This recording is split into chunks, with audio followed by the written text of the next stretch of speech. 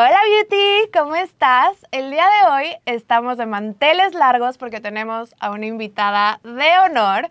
Ella estoy segura que ya la conocen, pero si no, es Rosy McMichael. Ay, estoy súper contenta de estar aquí. ¿Cómo Ay, estás? Muy bien, ¿y tú? Muy bien, ya emocionada porque nos vamos a poner todas glam en unos instantes. Nos vamos a poner guapísimas y aparte mientras nos maquillamos le voy a estar haciendo unas preguntas a Rosy para que la conozcan más a fondo.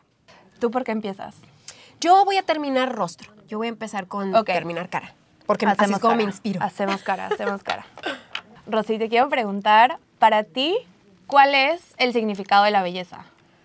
Ay, el significado de la belleza, sabes que siento que es muy subjetivo porque para todo el mundo significa algo diferente. Para mí la belleza es sentirme cómoda conmigo misma en ese instante, porque puedo estar súper glam en una alfombra y me siento bonita, pero puedo estar en mi casa con la cara lavada y tengo una buena semana de piel. Siento que Claro. mi piel está luminosa y demás, y también me siento bonita. Entonces, y también siento que para, para todas las personas significa algo, algo diferente. Entonces, la belleza para mí es muy subjetiva y viene más de adentro. Y luego, no sé si has notado personas con unas personalidades súper lindas, con un gran ángel. luz. Exacto, y siento así tal cual, que la belleza viene, viene de adentro. Estoy completamente de acuerdo contigo. Yo en Atentamente Victoria siempre digo que lo de adentro siempre va primero. Sí. Y lo de adentro se refleja en lo de afuera. Exacto. Y cuando son personas justo lindas, se les ve este brillito en los ojos y, y solo quieres ir a abrazarlos y, y a estar en su presencia. Exacto, y cuando haces clic con la gente, qué mejor. A ver, ¿qué te estás haciendo en estos instantes? Yo, como estamos en Miami, me quiero ver muy bronceadita, muy glowy, muy beachy y tengo esta paleta de contour que la amo Ajá. porque tiene como muchas, eh, muchas opciones de, de tono y me voy a hacer un look muy bronceadillo, muy, muy bronceadito. Ya. Pues fíjate que yo me estoy eh, haciendo el contorno, traigo lo que es base ya aplicada, base y corrector, y estoy Yo trabajando justamente en productos, eh, en productos de rostro como para ir perfilando, porque siempre tengo que comenzar con el rostro. No sé por qué. Yo no soy de las personas que empiezan por los ojos. Yo he querido ser esa persona que empieza por los ojos y no puedo. Yo también he querido ser No esa puedo. persona. Las admiro, las veo como que, mm, qué inteligente. Si se te corre, nada más regresas a corregir, pero no puedo. Es que yo necesito la cara lista para inspirarme. Yo también. Las admiro, las respeto, pero quisiera ser ustedes, no puedo. Sentí que ibas a decir la respeto de lejos. Las respeto de lejos, pero yo no soy esa persona. Oye, Rosy, ¿qué te inspiró para iniciar? Porque llevas haciendo YouTube mucho tiempo. Este va a ser mi año número 13. Wow. O sea, ¿en qué momento pasó tanto tiempo? Wow. ¿Qué te inspiró? Ay, ¿sabes que este tipo de preguntas me las hacen mucho y nunca sé exactamente cómo responder?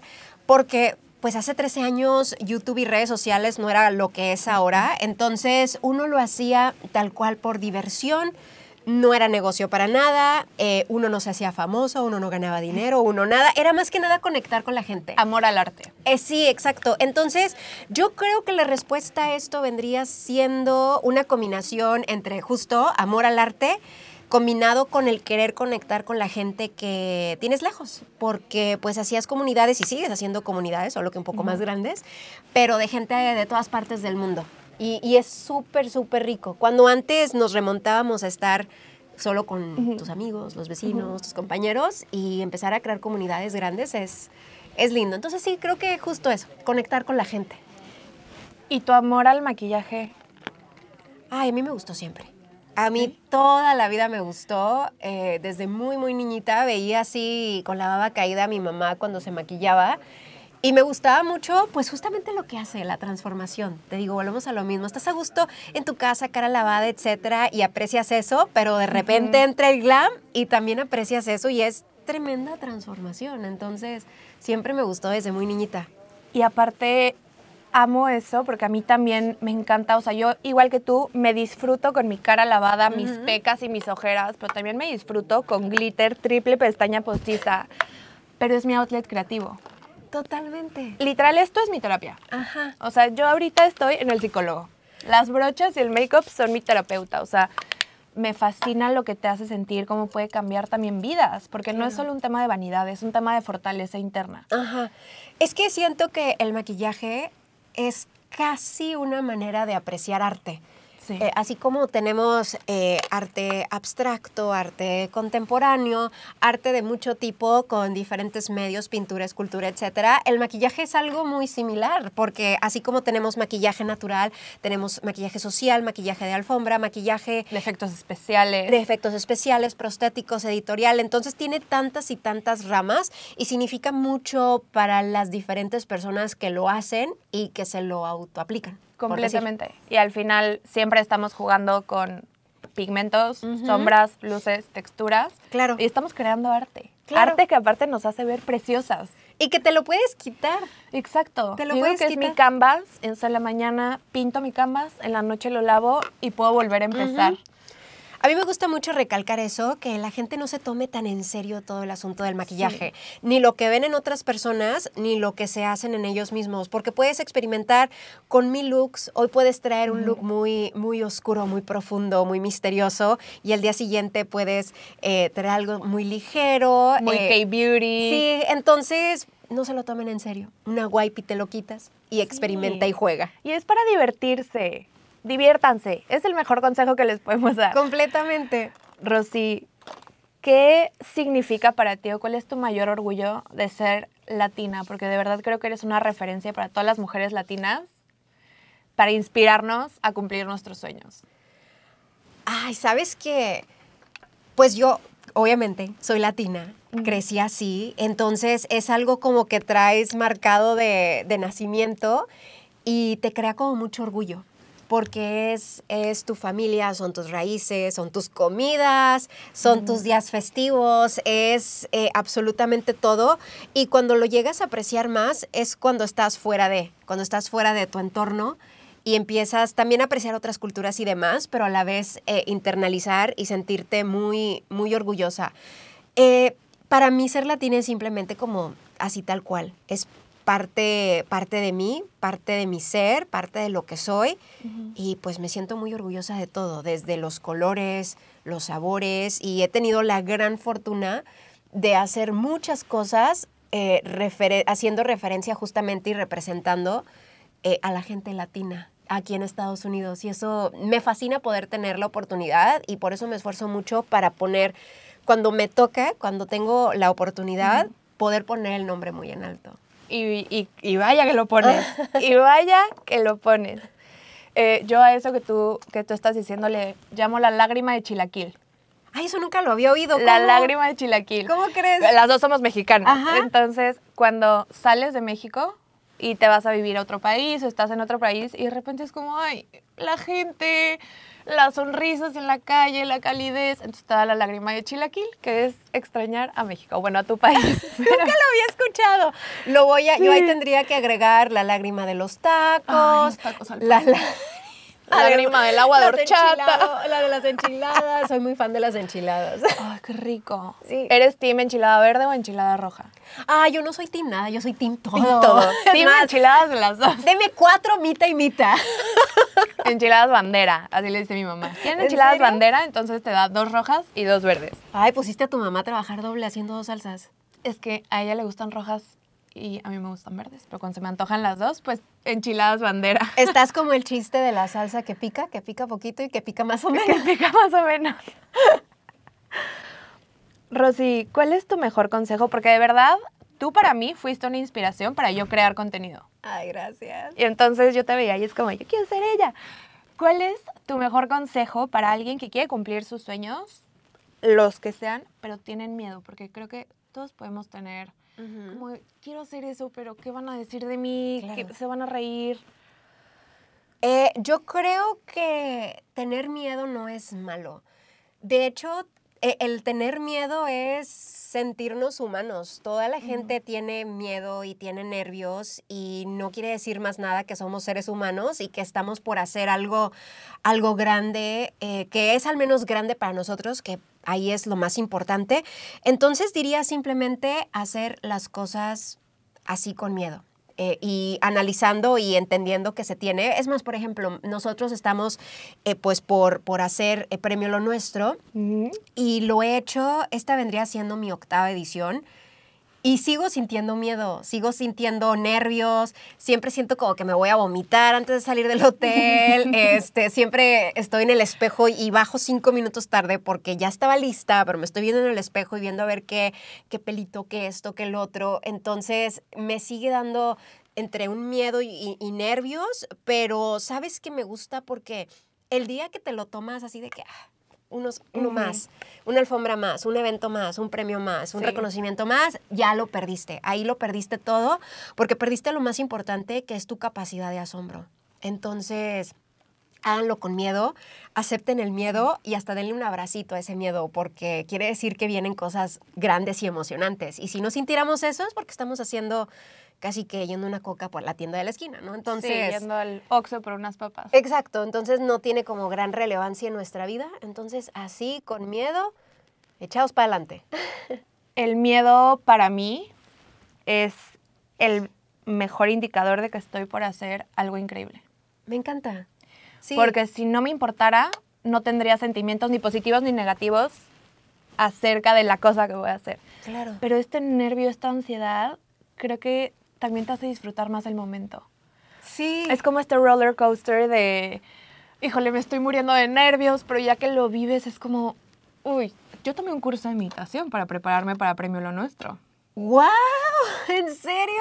Lleva dos días sin dormir y dije, no puede ser, no puede ser, del nervio de que te iba a ver, de que íbamos a grabar, y dije, necesito meditar. Y entonces, Wow. esas herramientas, pero para mí fue, en, en el curso me dijeron, tienes tantos nervios porque es algo que te importa demasiado. Ajá. Entonces creo que ese es un buen consejo, no, no se dejen consumir por el nervio y decir, o el miedo y decir, ya no lo voy a hacer porque me da pánico, sino. Hazlo. own it, Con todo y miedo. con todo y miedo. Y sabes que cuando ya lo hiciste y lo ves en retrospectiva, es padrísimo. Yo tengo muchas fotos que no he posteado y más que nada, es que Premio Lo Nuestro tiene el factor gala que a lo mejor no tienen otros, otras cosas que hago Sí. y por eso como que leo un poquito la experiencia y el nervio.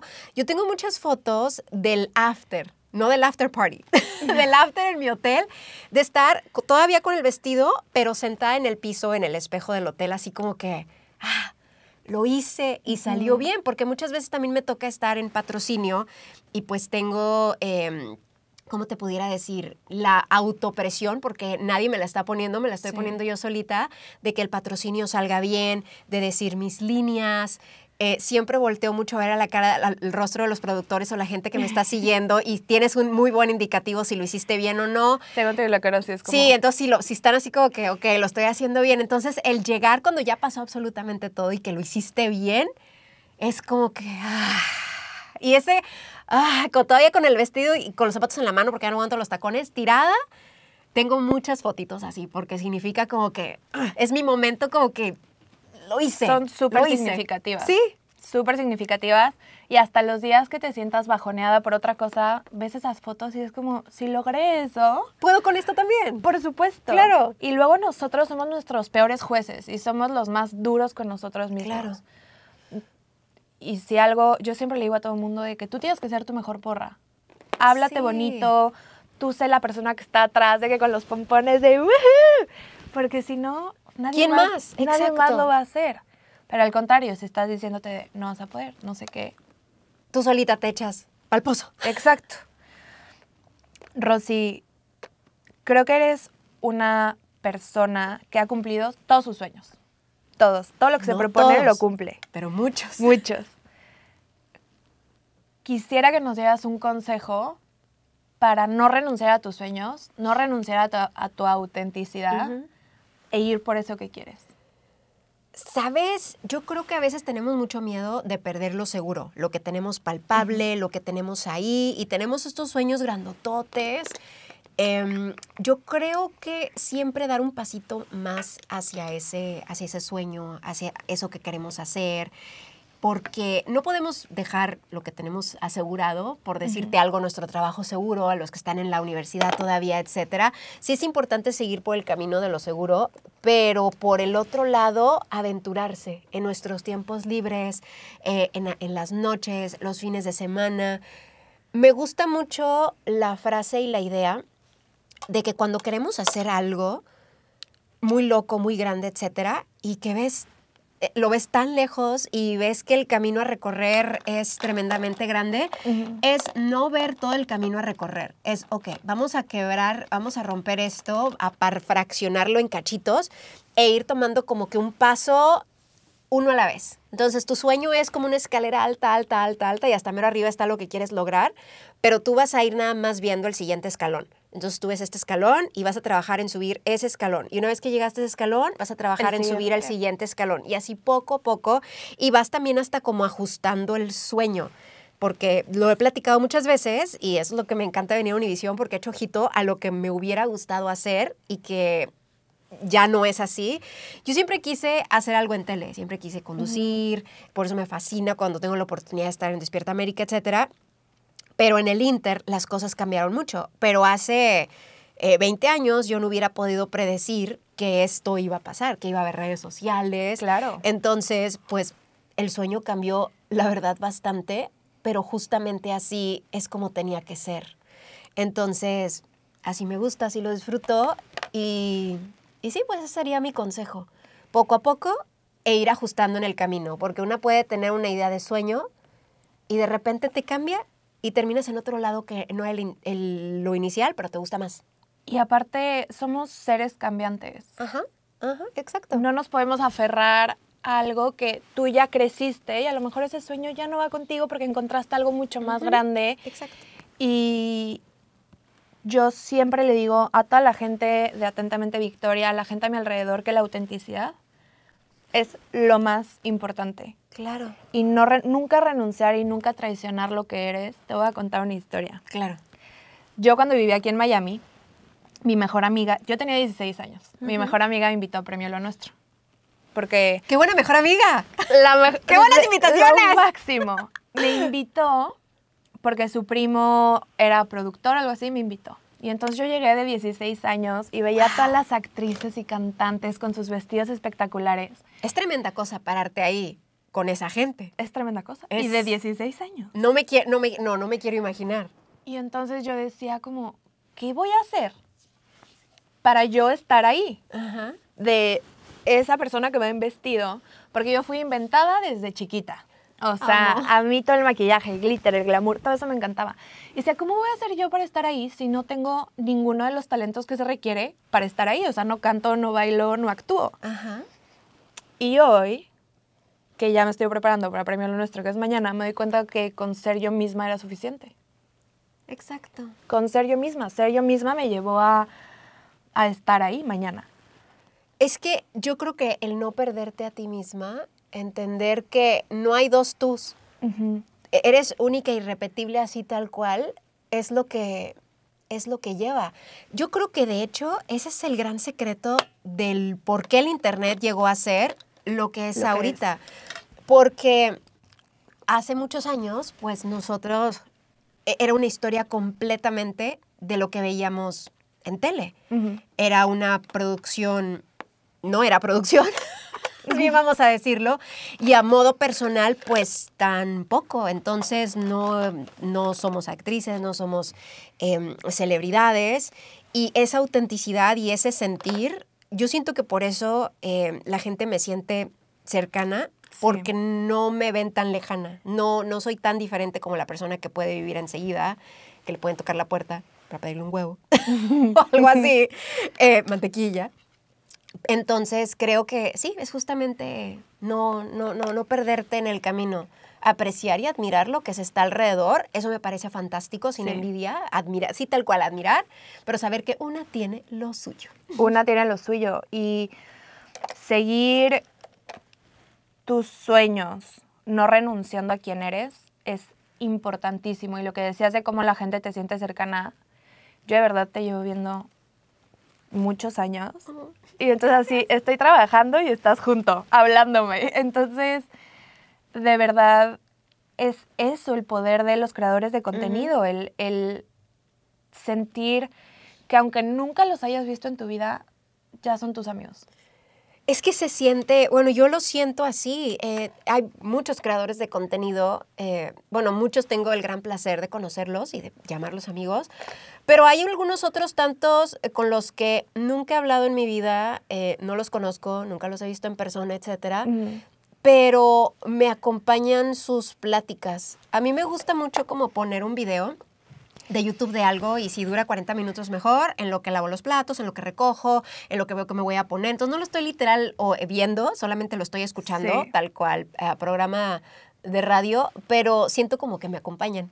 Tal cual. Entonces es, es bonito, o sea, sientes a la gente, sientes a la gente cercana. Ahí y de verdad esta calidez y how candid they are, Ajá, puedes sentir que los conoces de verdad desde un punto personal, claro. ¿no? O sea, yo de verdad trabajando me he hecho tus super mega hauls. Gracias. Por las tres horas a veces. No, me encanta, me Invertidas. encanta. Me encantan. Y creo que la comunidad que has creado es impresionante. O sea, yo veo los comentarios que te ponen, lo mucho que la gente te quiere y no es de a gratis, te lo has ganado al ser tan tú. Muchas gracias. Sabes que me gusta mucho cuando tengo oportunidad de conocer en persona, cuando tenemos and greets y demás, porque es como ponerle cara y feeling a lo que lees nada más. Entonces, porque está la persona, la estás escuchando, la estás viendo, la estás abrazando, la estás sintiendo. y Yo soy Sí. como que muy touchy. Entonces, es súper bonito. Es súper, súper bonito ver de, wow, o sea, hemos hecho, hemos hecho todo esto y hemos crecido juntos. Y, y sí, la verdad ha sido un camino bien bonito. No te lo voy a negar. Y hablando de, de, mm, como toda tu trayectoria, ¿cuál, e- ¿cuál tú crees que es el logo- logro más grande de toda tu trayectoria? Mi logro más grande, híjole, he tenido muchos, em, pero creo que el logro más grande es que, haciendo un pequeño paréntesis, siento, Ujú. siento que el éxito se ve completamente diferente para todos. O sea, lo, lo Sí. que es la idea de éxito y Es felicidad. muy personal. Es muy personal. Para una persona no es necesariamente para la de enseguida. Entonces, aunque he hecho cosas increíbles y que me llenan el alma y las veo lloro, por ejemplo, mis productos, etcétera, eh, mi mayor logro es poder tener un balance entre dos sueños muy grandes que toda la vida tuve. Y de nueva cuenta esto es muy personal, que es dedicarme a medios. Y ser mamá, una mamá presente, una mamá que va por la cartulina, una mamá que va al colegio, una mamá que lleva el karate. Entonces, puedo hacer las dos cosas y las he podido manejar a mi modo de ver y desde mi perspectiva y a lo que es mi vida de una manera muy exitosa. Sí. No me he perdido un festival. Eh, estoy ahí cuando mi hijo sale en el cuadro de honor y hacen la ceremonia, ahí estoy. Son muy pocas cosas que por trabajo no llego a ver. En todos estos años te las cuento con una mano y me sobran dedos.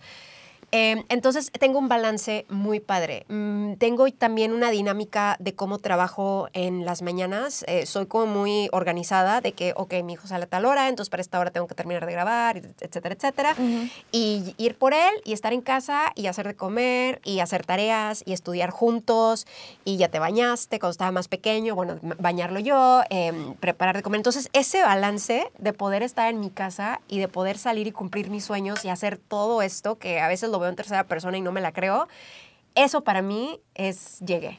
Entonces, porque así se ve la felicidad para mí. Tengo los dos sueños que siempre quise, una mamá muy involucrada en casa que pareciera casi que no trabaja y cumplir mi sueño de ser medios. Entonces, no le puedo pedir más a la vida. Te creaste la vida de tus sueños, literal. Sí, eh, pues me la creó la vida, la verdad, porque, o sea, si yo lo hubiera, si hace 20 años me hubieras dicho que esta iba a ser mi vida, no hubiera ni sabido por dónde, por dónde empezar a crearla. Entonces, sí, me siento muy bendecida y hasta tendría que decir privilegiada, porque muchas cosas se fueron dando casi sin buscarlas. Se me presentaron y ya nada más estuvo en mí tomarla.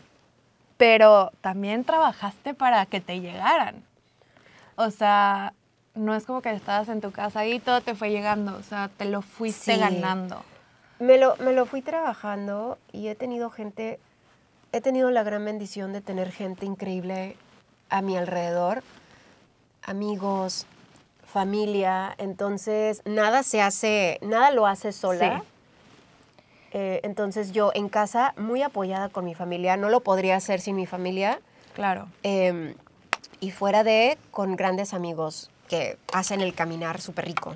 Qué importante es rodearte de gente, de gente que te sume, ¿no?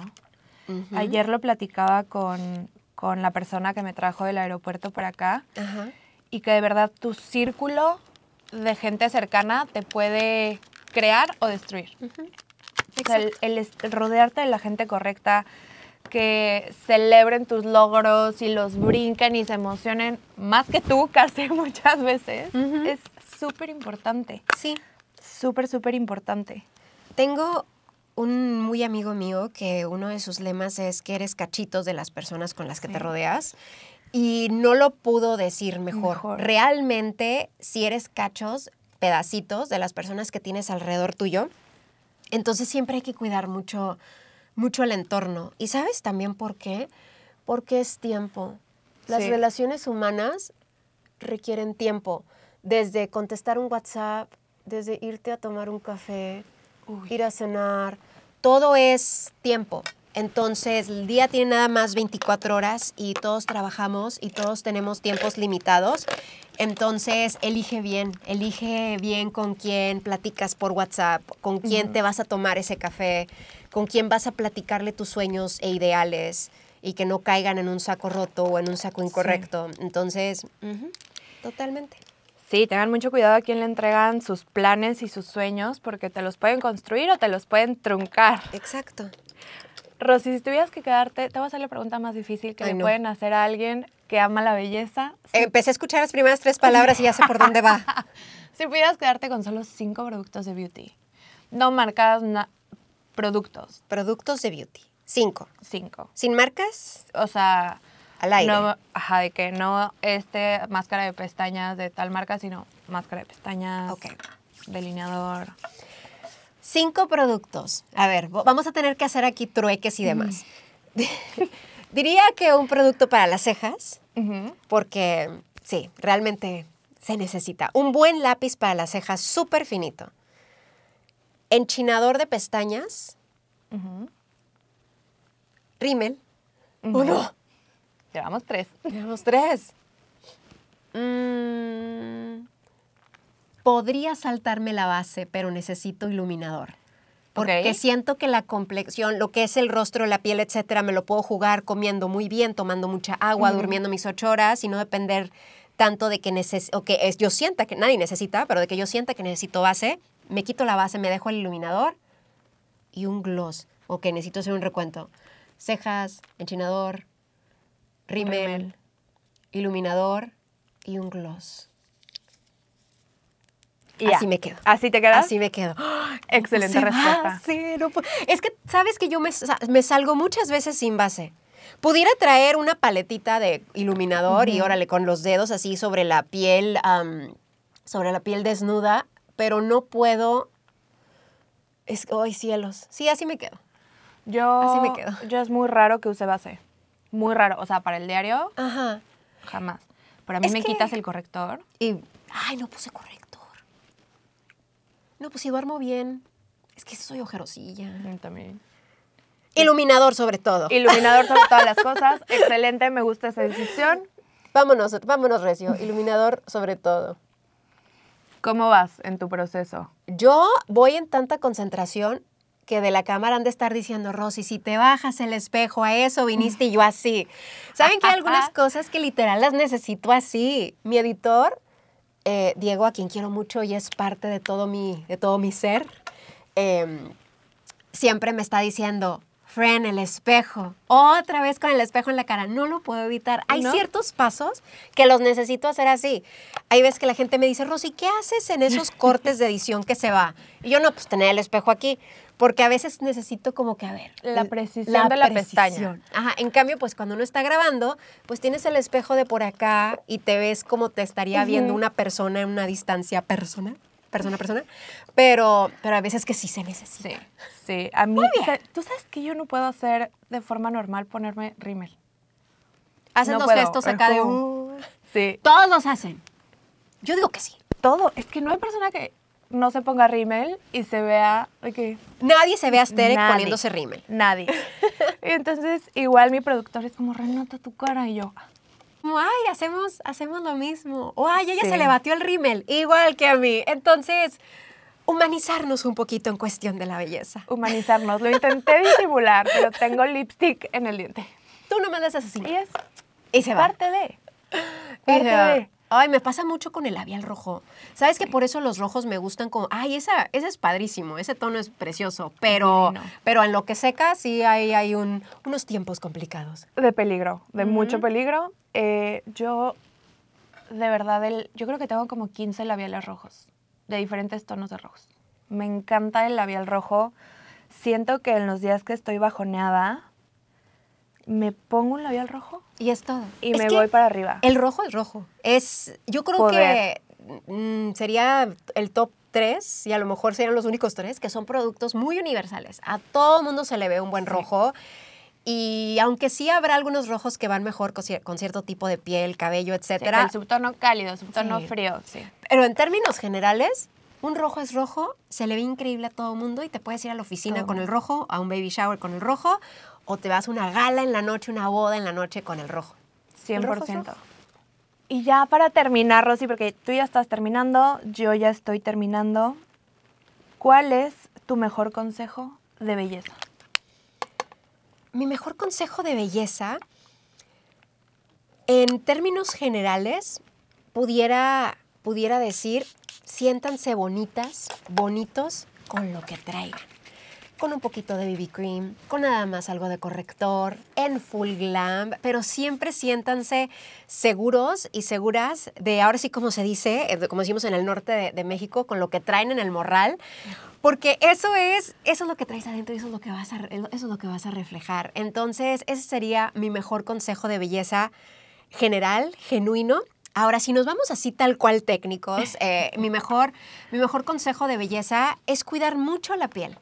Cuiden mucho cómo se le ve la piel. A veces le queremos dejar todo el primer a la base, a todos los productos que nos estamos llevando y todo viene un poquito más desde adentro, lo que hicimos en skincare, que tanta agua estamos tomando. Entonces, si nuestra cara está hidratada, se siente jugosita porque hemos tenido un buen régimen de skincare, también de nutrición, tomando agua y demás, eso le ayuda mucho a los productos y hasta cuando traes un maquillaje de todo el día y los productos empiezan a desgastarse, tu piel brilla desde adentro, vamos a decirlo así, brilla desde detrás de todos esos productos em, y, se ve, y se ve increíble. Pero del día que ustedes decidan ser, ya sea un día de simplemente un poquito de BB cream o un poquito de protector solar, rímel y no más nada, a un día de full glam, ustedes siéntanse bonitas, bonitos con lo que traen, que al final del día la sonrisa y lo que viene de adentro es su carta de presentación.